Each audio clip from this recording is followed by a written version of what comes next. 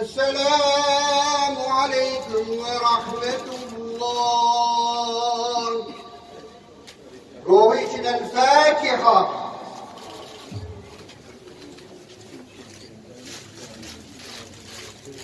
Değerli kardeşlerim, aziz cemaat. Bir evladımızı, bir şehidimizi uğurlamak üzere burada toplanmış bulunmaktayız.